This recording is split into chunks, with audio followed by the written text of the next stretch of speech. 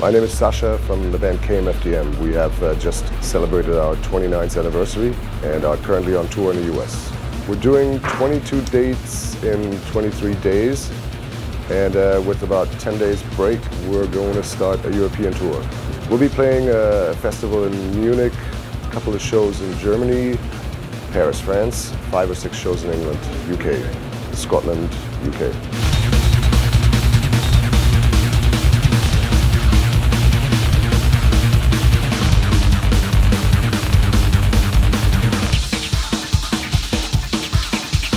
Well, working with the PreSonus console is just really easy because you never have to do a sound check. It's, you know, it's basically you set it up once the way you like it and uh, that's it. And if you need to make adjustments, you use an iPad, iPhone, just change your mix on the fly.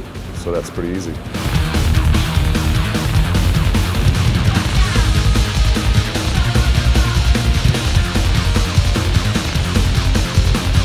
I'm originally from Hamburg, Germany, but KMFDM started out in 1984 in Paris, France. What does KMFDM stand for? Kill motherfucking Depeche Mode.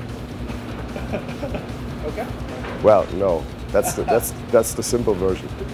It originally stands for Keine Mehrheit für die Mitleid, which is a German sentence where the two nouns are switched, so it's already making not much sense. And it translates into um, no compassion for the, for the majority.